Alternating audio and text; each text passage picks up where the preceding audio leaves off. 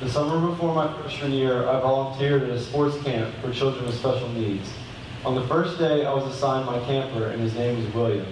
William said to me, well, yeah, sure, I'll be your friend, but when you let your guard down, I'm going to eliminate you. This was pretty concerning for some of my fellow counselors, but for me, I was up for the challenge. I knew by the end of the week, William was going to love me. By the end of that week, I didn't feel the same way. I was beaten down and frustrated. I knew William Wanted to be still dead. wanted me dead. I was only partially, only partially listening listening when- when we were talking about our favorite things about the week. When William was asked, I expected him to probably say soccer because he managed to hit me in the head with a soccer ball. When asked what his favorite thing about the week was, William looked straight at me and said, my favorite thing was Jackson. You see, William was my inspiration. He showed a level of love that not even I could understand. If I couldn't see it, obviously no one else could, because that was my entire goal that week. He was the inspiration behind my passion project. For my passion project, I went to Lake Norman Charter Elementary School and did a presentation for the kids, not the adults, because they are the future for my project.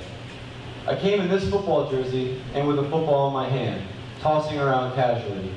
I did that one because maybe it would command a little more respect from the kids and they listen to me a little bit better.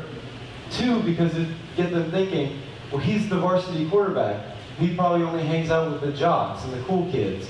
And they'd be, their minds would be blown when I told them that I do something very different from that. And three, because I think it makes my arms look pretty good. My first lesson, I asked them to draw a dog, and that was the only thing. No requirements, no breed, shape, size, color, anything. Just draw me a dog. When they were done drawing, I collected them all and I showed them off, and we giggled about what some of them looked like, and then I brought it to a serious note. I said, sure, all these dogs have very distinct differences, but if you took them all to a dog park, wouldn't they chase the same ball, chew on the same bone, sniff each other's tails? We as humans need to mimic that type of oblivion to the physical and mental differences that we find so important in our society. For the second activity, I brought out a bag of Peanut Lovers trail mix. And I asked the kids, if you could take one piece from this trail mix, what would it be? And the answer was a resounding, it's the M&M, it's the M&M, of course. And I asked them, but why? This is my Peanut Lovers trail mix. I'm obviously a peanut lover. Why don't you feel the same way? And they said things like, it's sweeter, it tastes better, it adds flavor to the trail mix. And I said, once again, you can relate this to your group of friends and the people around you. You should look for the M&Ms in your life, the people that are sweeter and that add flavor to your lives, not just the common kid, the cool kid, the regular peanuts. For my last activity, I showed them a picture of my dog Zoe because I didn't think I was able to bring it to the school.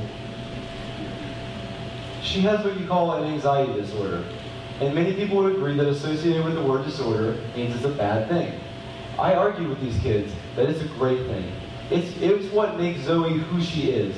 She's much more loving, caring, sweet, and attentive than any dog I know. Sure, she's constantly underfoot. Sure, she whines like she swallowed a squeaky toy. But it makes her who she is.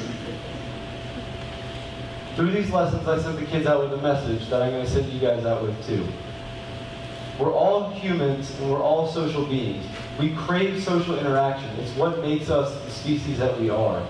So the next time that you see a man acting a little strange on the bus or at the park, and he may obviously have a mental disability, instead of priding yourself and looking away, not staring, not causing attention to it, introduce yourself. Instead of telling your kid to hush when he's asking about the, the man very loudly, Dad, what's wrong with that man? Mom, why is he acting like that?